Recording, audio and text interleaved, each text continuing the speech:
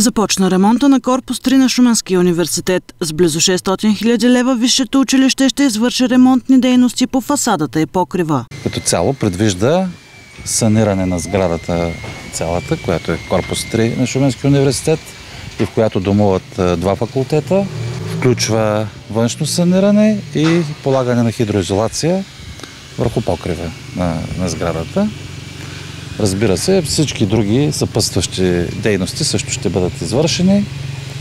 И крайната цел на всичко това е да се подобри енергийната ефективност на сградата като такава. Корпус 3 се помещава Централната библиотека, учебни зали и факултетите по математика, информатика и по технически науки. Ремонтът е предвиден да заеме около 90 календарни дни по проект. Самата обществена поръчка беше проведена по такъв начин, че строително-монтажните работи да бъдат проведени през лятото, когато няма учебен процес. Искрено се надяваме да успеят да приключат преди началото на следващата учебна година. Средствата са отпуснати от Министерството на образованието и науката.